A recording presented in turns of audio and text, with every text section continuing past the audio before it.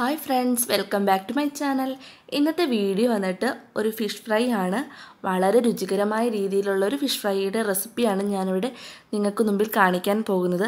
അപ്പോൾ നിങ്ങൾ ആദ്യമായിട്ടാണ് എന്റെ ചാനൽ കാണുന്നതെങ്കിൽ തീർച്ചയായും ചാനൽ സബ്സ്ക്രൈബ് ചെയ്യുക. അതുപോലെ തന്നെ അതിനടുത്തുള്ള ബെല്ലൈക്കണും കൂടെ ഒന്ന് ക്ലിക്ക് ചെയ്യുക. അപ്പോൾ നമുക്ക് വീഡിയോയിലേക്ക് പോകാം. നാല് നാല് വറ്റൽമുളകും ഒന്നര ടേബിൾ സ്പൂണോളം കുരുമുളകും ഒരു പാത്രത്തിലിട്ട് നല്ല രീതിയിലൊന്ന് ചൂടാക്കി എടുക്കാം. കരിഞ്ഞു പോകാതെ പ്രത്യേകം ശ്രദ്ധിക്കണം.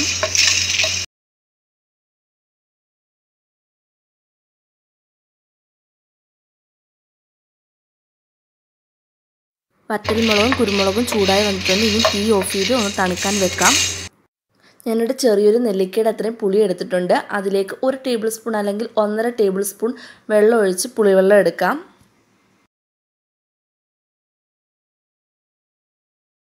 നേരത്തെ ചൂടാക്കി വെച്ചിരിക്കുന്ന കുരുമുളകും വറ്റൽമുളകും ഒന്ന് പൊടിച്ചെടുക്കാം. വലുതായിട്ട് പൊടിയേണ്ട ആവശ്യമില്ല. അതിലേക്ക് ചെറിയൊരു കഷ്ണം ഇഞ്ചിയും ഏകദേശം ഒരു പത്തല്ലി വെളുത്തുള്ളിയും ഇട്ട് കൊടുത്ത് ഒന്നും കൂടി ഒന്ന് അരച്ചെടുക്കണം. ഈ അരപ്പിലേക്ക് നേരത്തെ എടുത്തു വെച്ചിരിക്കുന്ന പുളിവെള്ളം കൂടി ചേർത്ത് കൊടുത്ത് ഒന്നും കൂടി ഒന്ന് അരച്ചെടുത്തിട്ട് ഒരു പാത്രത്തിലേക്ക് അരപ്പ് മാറ്റിയെടുക്കാം. ഇതിലേക്കൊരു കാൽ ടീസ്പൂൺ മഞ്ഞൾപ്പൊടിയും അര ടീസ്പൂണോളം ഗരം മസാലപ്പൊടിയും ആവശ്യത്തിന് ഉപ്പും ചേർത്ത് നല്ല രീതിയിൽ മിക്സ് ചെയ്തെടുക്കാം.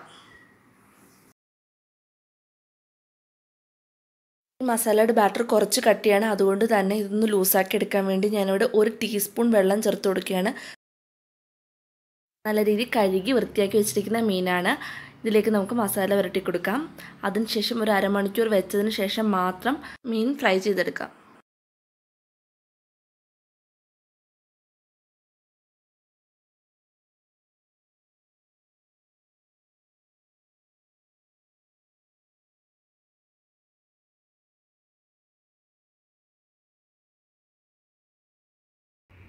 അരമണിക്കൂറിൽ കൂടുതലായി ഇനി മീൻ ഫ്രൈ ചെയ്തെടുക്കാം. ഞാനിവിടെ കുറച്ച് കറിവേപ്പില ഇട്ട് കൊടുക്കുന്നുണ്ട്. അപ്പം മീൻ ഫ്രൈക്ക് നല്ല മണമായിരിക്കും. നമുക്കിനി മീൻ ഫ്രൈ ചെയ്തെടുക്കാം.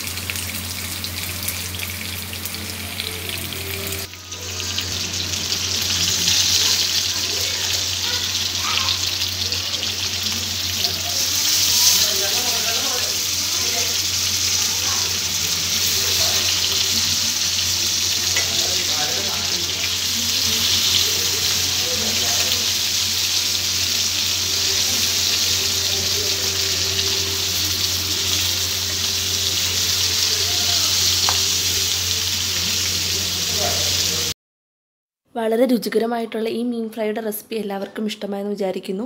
എല്ലാവരും ട്രൈ ചെയ്ത് നോക്കണം. Thank for watching my video